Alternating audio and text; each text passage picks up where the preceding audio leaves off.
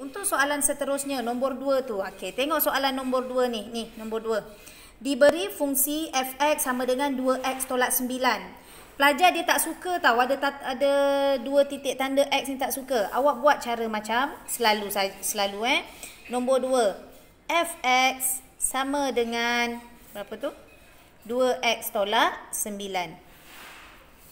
Soalan dia minta carikan image bagi kosong. Ingat pelajar, fx ni image.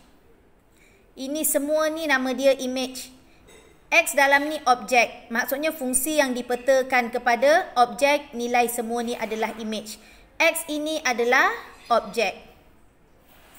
Kalau sini X, sini X. Kalau sini 3, sini 3. Kalau sini K, sini K. Benda yang sama. Soalan minta carikan image bagi kosong. Dia suruh cari image ni bagi kosong. Maksudnya dia suruh cari F kosong yang mana X-nya mesti kosong. Sebab apa? Allah mak. Sebab apa X-nya mesti kosong? Sebab sini X, sini X. Sini K, sini K. Sini kosong, sini mestilah kosong. Tolak 9. Maka jawapan kita adalah negatif 9. Okey, ini jawapan bagi 2A. Eh. Okey, 2A. Soalan bagi 2B pula.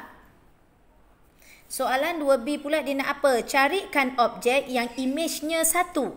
Carikan objek yang image-nya satu. Tadi kita dah tahu ini image kan? Okey, saya tulis balik. Fx sama dengan 2x tolak 9. Saya dah bagi tahu tadi dah. Ini adalah awak punya image. Ini image. Tapi dia dah bagi tahu dah soalan ni. Image-nya satu. So kalau image-nya satu, mana? Image-nya satu, maka semua ini nilainya satu. Sama dengan 2x tolak 9. Soalan minta objek. Awak dah tahu sini objek, ini objek. Okey, jadi image dia dah bagi, kita cari x sebagai objeknya.